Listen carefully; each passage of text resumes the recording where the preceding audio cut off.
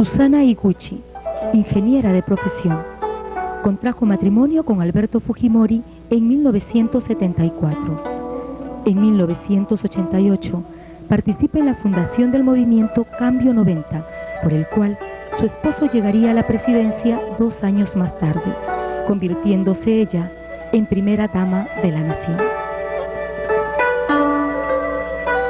Yo soy peruana, peruana, limeña mazamorrera de la victoria y el, hincha de la alianza.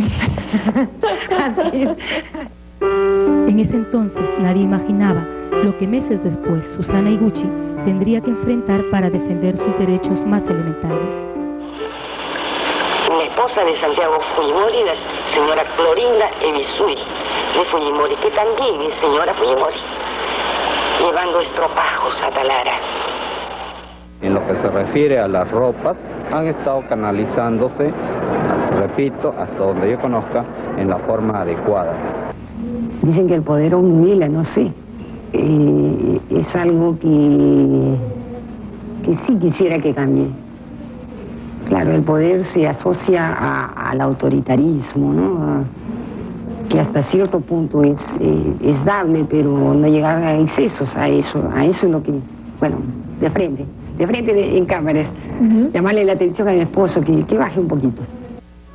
Después de estos episodios, Susana Iguchi desapareció de la escena pública por más de un año, hasta mediados de 1994. El verdadero terremoto se produjo cuando se supo de las aspiraciones presidenciales de la primera dama. Que como ciudadana me siento en la obligación moral de hacer frente a tanto abuso, tanta corrupción, tantas mentiras.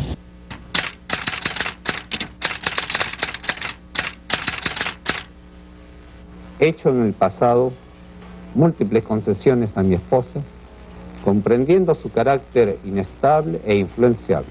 No se puede ceder al chantaje ni a la intimidación, vengan de donde vengan. He decidido por ello separar a mi esposa de la función de primera dama. La puerta que da al despacho de la ex primera dama se cerró y la extrema seguridad militar fueron síntomas claros de que no habría ninguna conferencia de prensa y no por voluntad de la señora Fujimori, a quien no le quedó otro camino que salir a entregar un comunicado en la puerta. La respuesta de la señora Susana ha sido, ¿es chantaje decir la verdad? Es chantaje recibir las denuncias de muchos dirigentes de pueblos jóvenes y asentamientos humanos en los que me escriben sobre las corrupciones de las instituciones en donde ellos acuden a clamar justicia. Es chantaje tratar de esclarecer la venta de ropa donada que en su debida oportunidad puse de conocimiento al señor presidente. Es chantaje solicitar que se investiguen los indicios que conozco de muchos personajes que han servido y que sirven a este gobierno. Me pregunto, ¿Puedo intimidar al señor presidente de la República, que es la persona con más poder en el gobierno? La puerta por la que la primera dama venía recibiendo visitas permaneció cerrada todo el día. El motivo, desde el interior de Palacio, la habían sellado con soldaduras. Además, se colocaron dos camiones bloqueando el acceso y nadie daba explicaciones de dónde y cómo despacharía a la señora Susana. La vigilancia en la plaza de armas se redobló en efectivos y el carro rompe manifestaciones circulaba amenazante. Oficialmente, algunos miembros de la policía mencionaron que la facilidad con la que las feministas visitaron ayer a Susana Iguchi incomodó al presidente Fujimori.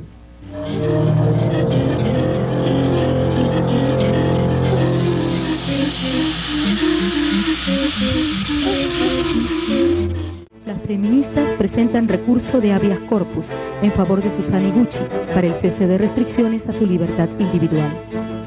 Las organizaciones que hemos presentado este habeas corpus somos organizaciones que trabajamos en defensa de los derechos de la mujer desde hace más de 15 años y lo que pretendemos en realidad es que se levanten las restricciones que existen todavía contra la libertad individual de la señora Susana Iguchi. Susana Iguchi solicita providencias de pacificación utiliza la ley de violencia familiar que fue promulgada por el presidente en diciembre de 1993.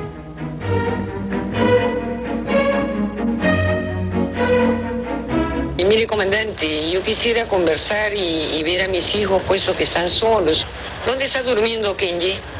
Ellos duermen en el zinc. Dígame, comandante, eh, ¿usted cree que habría inconveniente en ir a visitarlos hoy día, puesto que están sin papá ni mamá?